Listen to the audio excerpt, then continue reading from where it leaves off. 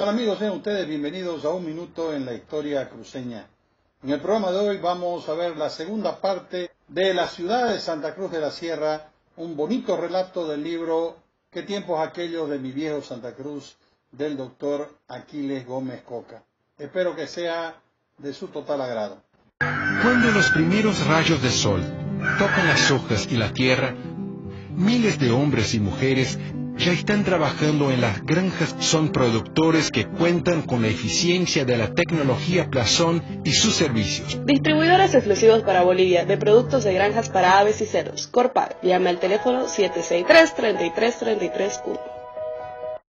La habíamos saltado en el calendario histórico del acontecer cruceño, pero hoy, además que repasamos la fundación y traslaciones que tuvo San Lorenzo con todos sus añadidos de nombres y caminatas, debemos tener reconocimiento para esos hidalgos castellanos, perseguidores de luceros y menguantes argentadas, que solo tuvieron descanso anónimo y desconocido en algún panteón escondido por la maleza del camino y el olvido. Y el santo San Lorenzo, el patrono de esta viajera ciudad, insertada en la equidistante de Charca y de la Sierra Chiquitana, también anduvo de forzada romería, llevando de la iglesia de las Mercedes hasta el Sagrario, y desde la parroquia jesuítica a los altares de San Roque y San Andrés, y una que otra temporada en la inconclusa catedral, que más que una realidad no pasaba de ser un viejo anhelo de los feligreses cruceños de colocar a su patrono en un altar definitivo. Jamás llegó a tenerlo,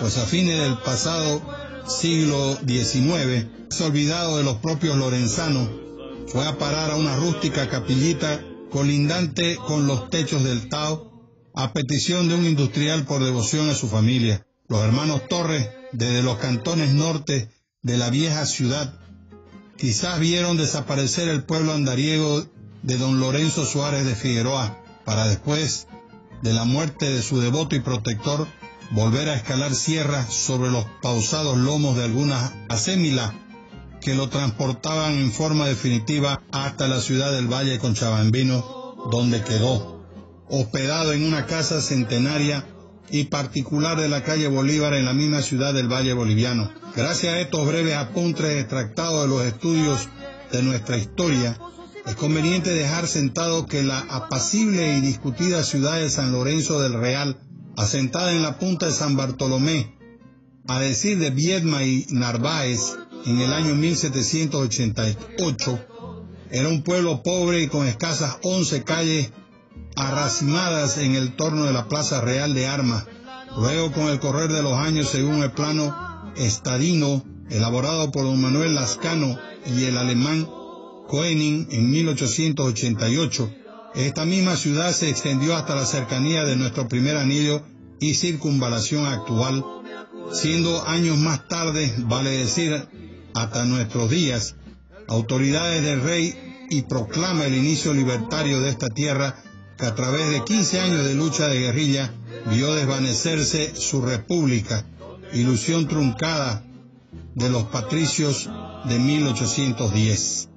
La tierra hospitalaria de los Salvatierra Suárez y el criollaje cruceño, no obstante su tradicional apatía por los tumultos y revanchismo, ha convulsionado las once calles del viejo pueblo y desde la misma Plaza Real o de la Concordia, las ansias de libertad son llevadas por los escoteros hasta más allá de las afueras del pueblo, a los caminos del Collao, Mojos, Cordillera y las misiones franciscanas del Oriente y Norte. La reacción de los cruceños podemos calificarla de moderna y sigilosa. Sería por las influencias de la infanta Carlota, que a la sazón residía con su corte en las colonias portuguesas de Río de Janeiro. Por el trato especial de su majestad que había perdonado los diezmos a los cruceños por su lucha centenaria contra chiriguanos y bandeirantes. O sencillamente es que los guerrilleros desde aquellos días maduraban con profundidad sus anhelos de pueblo libre e independiente, como fueron las bliquetas de Yegros en Paraguay y de Artigas en Montevideo. Como lo que vemos y sentimos en el presente, es hora de escribir la verdadera historia de este pueblo y dejar de un lado la recitación apócrifa. La lucha sin tregua de los cruceños durante la guerra de los 15 años nos induce a pensar que aún llevamos años relegados y prohibidos de administrar nuestras propias pertenencias. Seguimos siendo las parias en nuestra propia tierra, porque si durante el coloniaje español las jerarquías administrativas estaban destinadas solo a las peninsulares, en la vasta y productiva tierra de nuestros mayores, ahora seguimos siendo los segundones, los diezmos y las imposiciones pecuniarias e individuales de las cuales en parte estuvimos eximidos en la colonia. Hoy a costa de un centralismo republicano mezquino y atropellador, se ha dado el equivocado lujo de creer que somos una colonia del Alto Perú, con el cual solo tuvimos lazo de jurisdicción, como también lo tuvimos con el virreinato del Río de la Plata, por las distantes células reales que después de la batalla de Acucho quedaron sin vigencia, como lo demostró el gobernador de Santa Cruz el 14 de febrero de 1825 el Colorado Mercado, quien en esa memorable fecha para los cruceños proclamó solemnemente la independencia de Santa Cruz de la Sierra y sus territorios de mojos y chiquitos.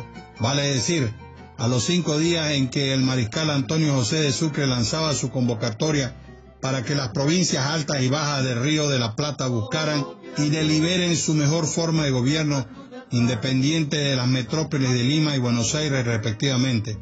No olvidemos nunca que desde ese primer día de la República, nuestros héroes de los 15 años, los guerrilleros de la República, fueron apartados del escenario republicano y desde entonces, con muy contadas excepciones, fuimos los invitados de piedra en nuestra propia casa.